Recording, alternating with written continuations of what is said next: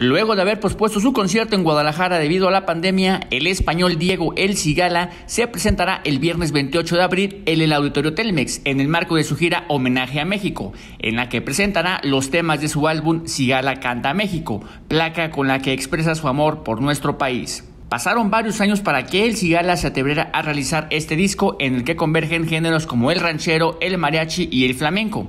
Fue hasta que Vicente Fernández, Armando Manzanero y Chabela Vargas lo animaron a concretarlo. Y aunque solo Manzanero y Vicente escucharon parte del disco, Manzanero Somos Novios y Fernández Verdad Amarga, pues Chabela ya había fallecido, los tres están en las entrañas de este proyecto, que salió en mayo del 2020 y dos años después se escuchará en vivo en Guadalajara. Ellos fueron culpables, Chabela fue muy culpable.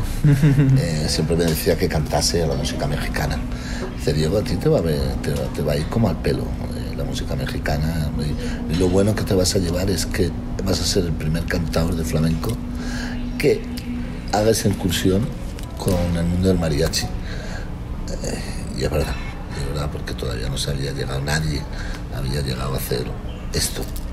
Y yo lo he hecho con mucho cariño, con mucho respeto pero también con mis miedos, claro, por supuesto. Hasta que no vino el, beneplácito de, Vicente y de don Armando, yo estaba ahí, estaba ahí entre aguas. Una vez que ya sentí el, beneplácito de, de ellos, descansé.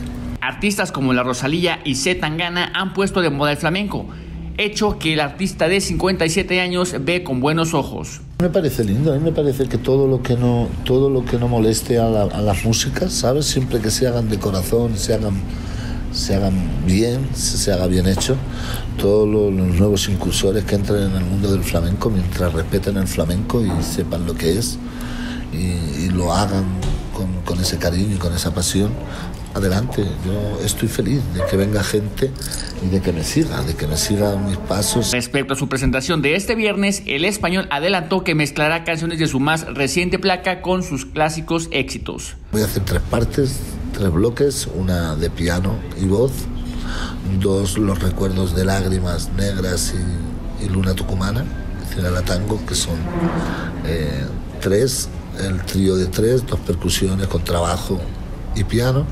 Y luego como cierre ya tenemos a los Gamamil. Los Gamamil ahí, plan.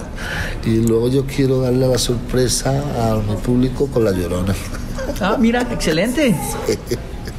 Sí, que tanto he insistido mi querida Chabela. Aún quedan algunos boletos disponibles con precios desde los 400 pesos hasta los 2000. Para UDGTV, Canal 44, Héctor Navarro.